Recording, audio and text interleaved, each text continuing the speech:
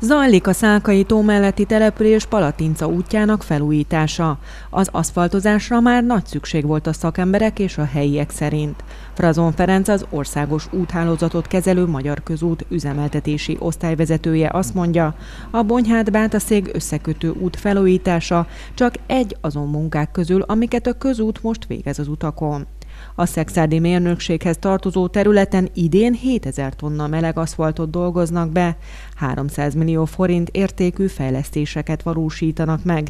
Ez mintegy duplája a tavainak. A burkolatfelújítási munkálatok előkészületei folynak a Szexádi mérnökségen a Bátaszék-Bonyhádi összekötő úton.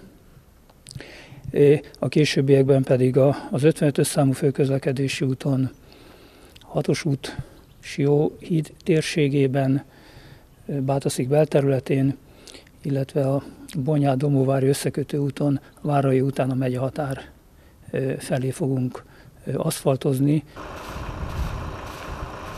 Az útellenőrök folyamatosan járják az utakat egy meghatározott terv alapján, és rögzítik a burkolathibákat.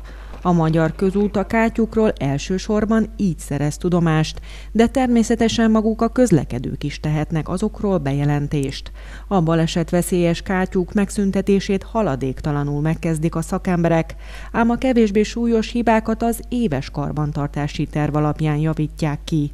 Emellett a megelőzésre is nagy hangsúlyt helyeznek.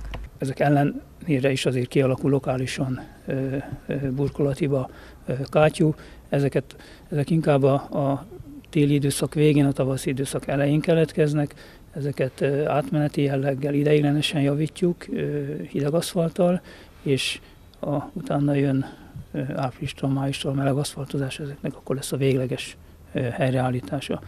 A téli időszakban a csapadék az útburkolatba bejutva a fagyási olvadási ciklusok hatására szétfeszítheti az aszfaltot. Emiatt alakulnak ki burkolathibák. Az idei tél változékony időjárása kedvezett a kátyúk kialakulásának. A bejelentések szerint a Bonyhád Bátaszék összekötő úton van a legtöbb úthiba.